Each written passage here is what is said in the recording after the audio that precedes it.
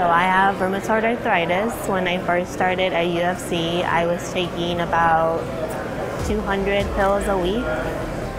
And I decided to try out a class with David, and we went into personal training. As we continued on with personal training, all the movement and keeping my body active was helping. So my pills slowly started to come down and until we got to where we are now.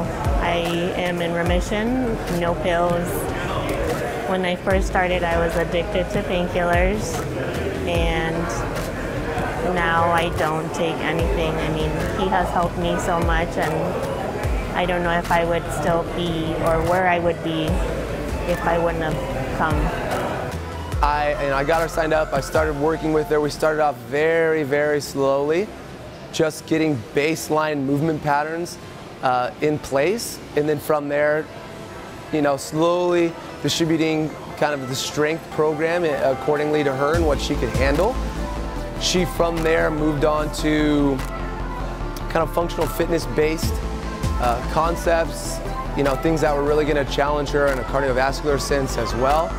And then eventually she progressed into uh, what she's still doing today, which is uh, weightlifting, uh, a very advanced form of barbell movements, um, something that takes a tremendous amount of time to just learn the technique, uh, flexibility, coordination, agility, strength, power, all of that stuff. I love it. I love it. This is like my second home. Everybody, when I started, I was so shy, so very antisocial now I like walk in and uh, you can just feel, I can say the love for me because everybody has gone, like has seen me through my journey.